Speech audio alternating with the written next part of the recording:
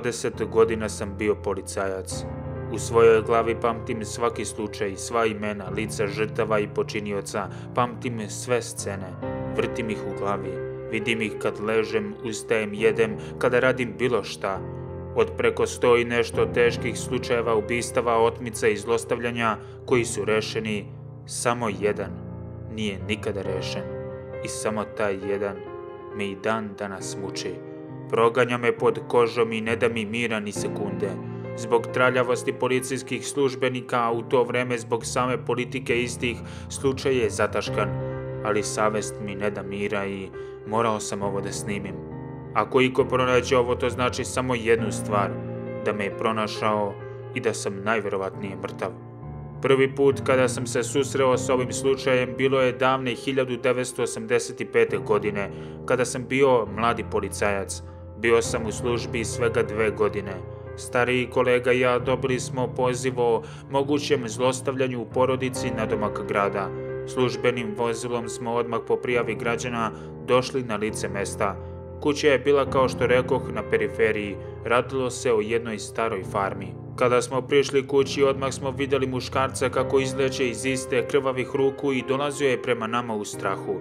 Odmah smo zaustavili vozilo, izašli napolje i naredili mu da se zaustavi da digne ruke u vis.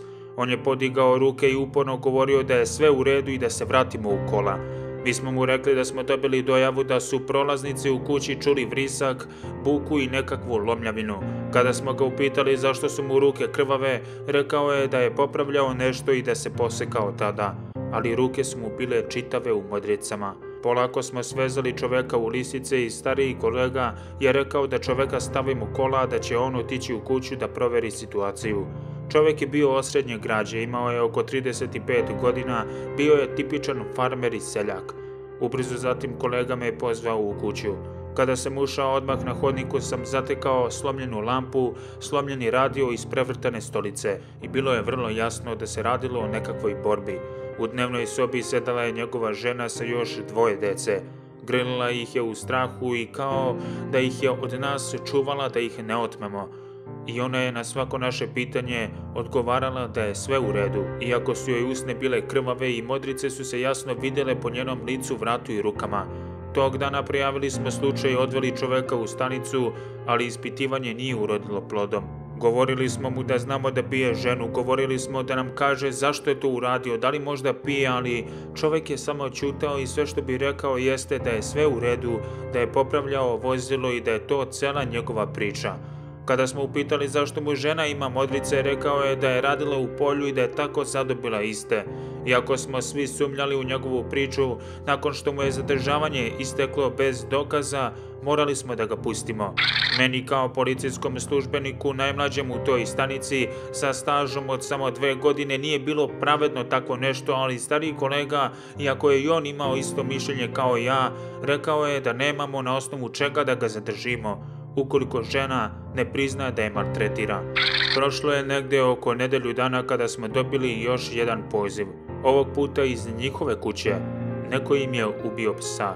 Međutim, kada smo došli, žena koja je izvala sama policiju promenila je priču čim je čovek došao sa polja.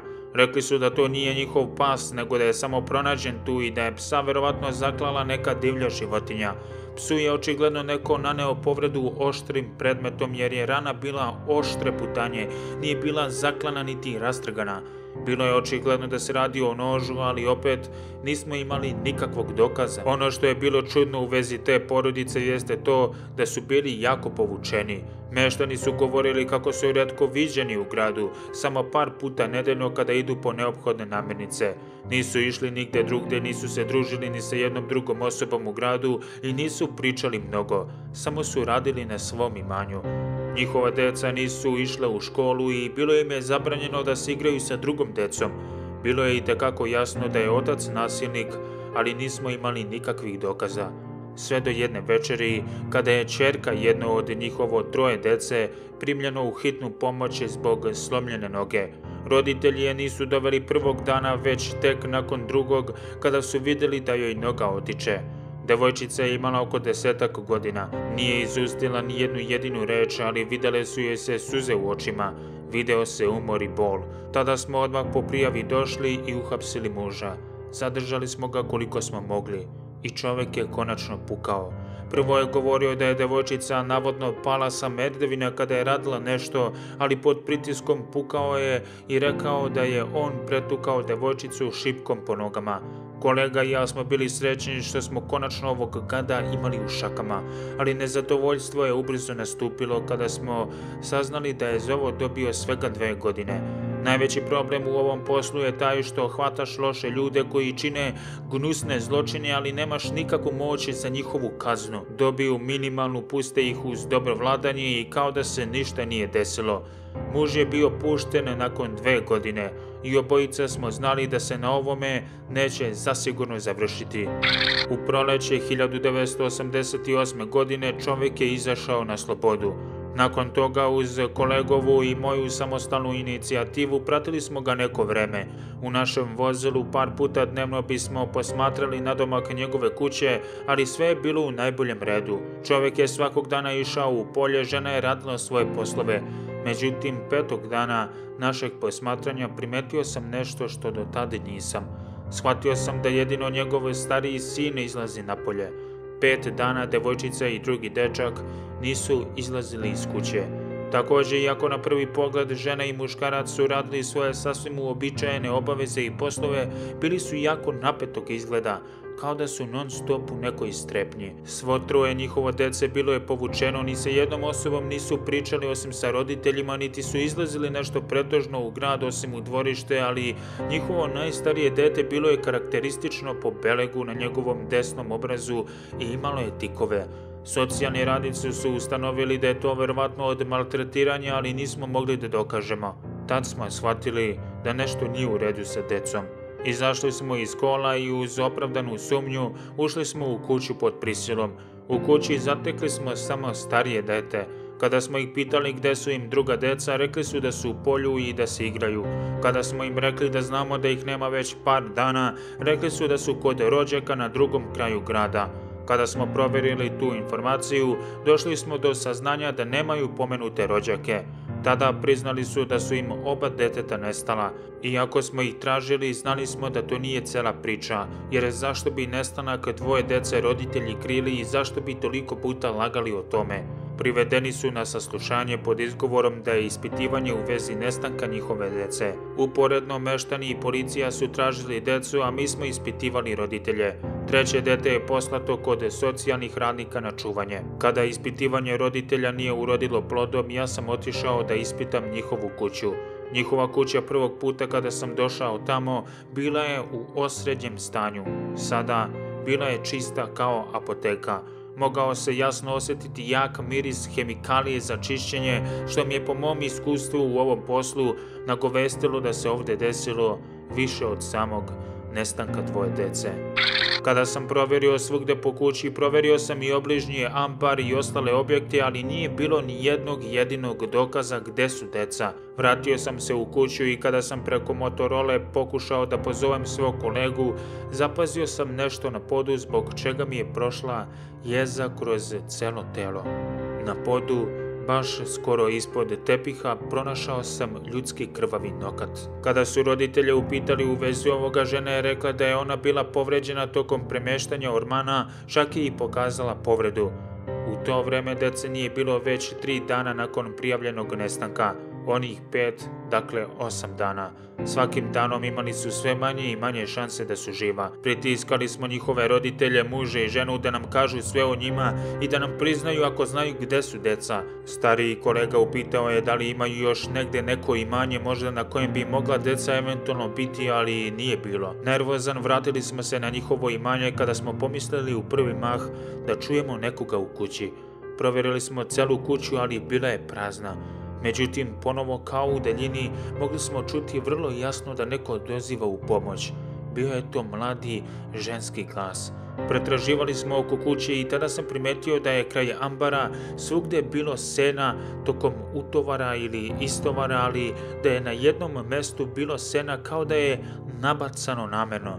Prišao sam, sklonio sam seno i tada sam video da postoje jedna vrata u zemlji. U tom trenutku tu sam čuo i glas da dopire odatle. Kolega i ja smo otvorili vrata i tu smo zatekli dvoje dece. Bili su u užasnom stanju, prljavi, slabi, žedni i gladni. Bili su vidno uplašeni, ali nisu htjeli ni jedan detalj reći kako su dospeli tamo. Kada smo to rekli roditeljima i kada su se okupili svi zajedno, mi smo još jednom pokušali da od oca dobijemo priznanje ili makar objašnjenje, ali otac nije znao šta da kaže.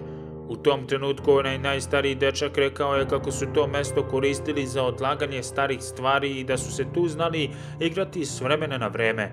Otac je dete pogledao sasvim začuđeno kao da nije znao o čemu se radi i tada je dete učitalo.